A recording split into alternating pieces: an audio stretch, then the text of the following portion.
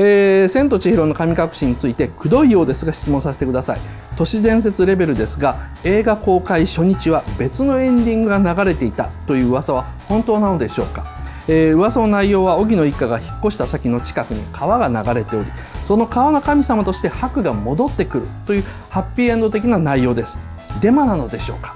また「千と千尋の神隠し」についてお話しする気力があればお願いしますということなんですけどもあの事実関係だけで言うとですね映画館の差し替えっていうのは基本的にやらないんですよ。この十何年ぐらい前まではですね映画ってフィルムなんですね。フィルムのプリント代がですね1980年代後半当時ですね映画1本あたりあの135万円ぐらい「千と千尋」はですね公開時はですね日本全国で343巻。この差し替えにかかる経費というのはフィルムのプリントだけでもですねまあ大体4億6千万円。そんなね経費どこが負担するんだよと。まあよっぽど無茶なことをしない限りないんですね。もしそんなことが本当にあったらですね記録に残るんですよね。現実的には難しいと思います、えー、都市伝説の元はですね2チャンネルの書き込みだそうです、えー、2014年のですね11月24日。もう都市伝説が生まれた日まで分かってるってのはすごいね、まあ、そんな書き込みがあったんですね。でそれで一気に広がったというふうに言われてるんですけども実はこれね半分本当なんですよ。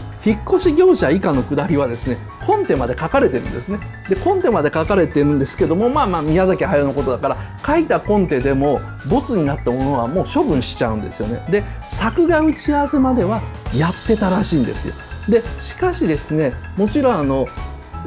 セルの仕上げの段階までは持っていってないしアフレコもしていないと。なん当時のジブリにはそこまでの余裕がないんです。宮崎駿も一番最初お尻はそこら辺まで引っ越しまで書くつもりだったらしいんですけれどもでもコンテ段階であこれ違うと。終わったらやっぱりもう1ヶ月か2ヶ月経ってることにしようと思ったんでそしたらもうその後ろのシーンやらなくていいからバッサリ捨てれるっていうまあそういうような流れらしいんですね。公開当時映画館でも一部で実際に流されてましたっていうふうにこの都市伝説の後ろに書けばですね全ての映画館で関係者のチェックを取らないと真偽はわからないのでですね割とねこのねデマは事情を知ってる人の作為的なデマだと 思うんです。で信じてる人がですね多い理由なんですけども「千と千尋の物語」の資料集見たら実はここまで作画というかコンテできてたっていうのはどこにでも書いてる話なんですね。だから実際に見た映像よりもですね脳内で作り出した映像がまあものすごくスムーズにつながってしまうわけですね。